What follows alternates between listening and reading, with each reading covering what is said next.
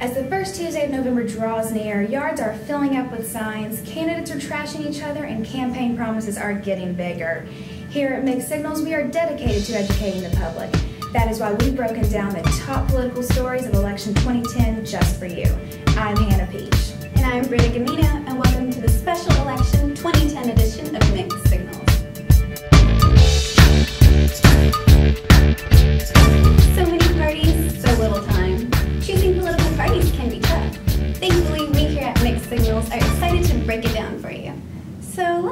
with some basic history.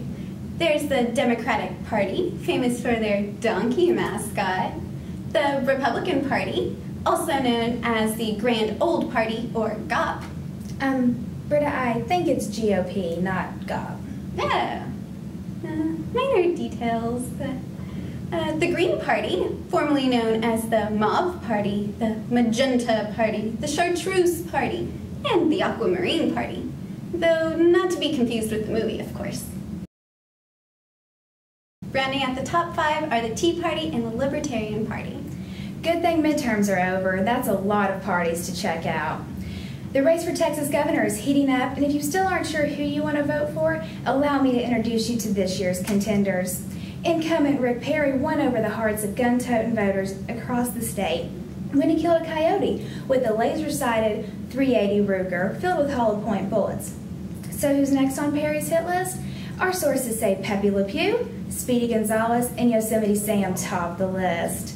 Democrat Bill White has been accused of profiting from a company that was hired by Houston during his tenure as mayor.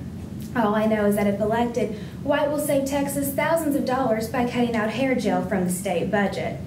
These two do just fine without.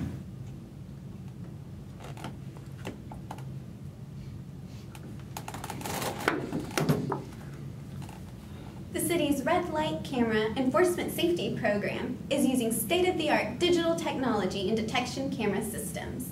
You can find these red light cameras at some of Houston's most dangerous intersections. But for how much longer?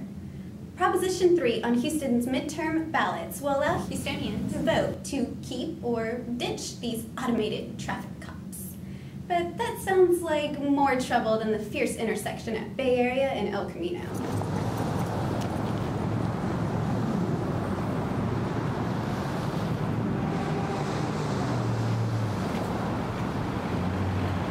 Well, maybe not that fierce.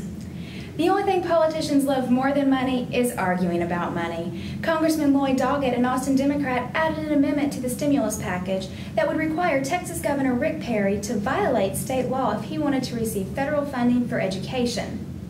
Perry promised the U.S. Department of Education that he would follow the Doggett Amendment as closely as possible without violating Texas law. But in the true spirit of election season, the Department of Education turned down Texas's application for federal funding because playing politics is way more important than education. Thank you for watching Mixed Signals. Be sure to grab the print edition of the newspaper while you wait for those speedy campus elevators. Or visit us online at www.uhclthesignal.com. I'm Hannah Peach. And I'm Britta Gamino, and that's the news you need to know. Day, but before you know it's gone.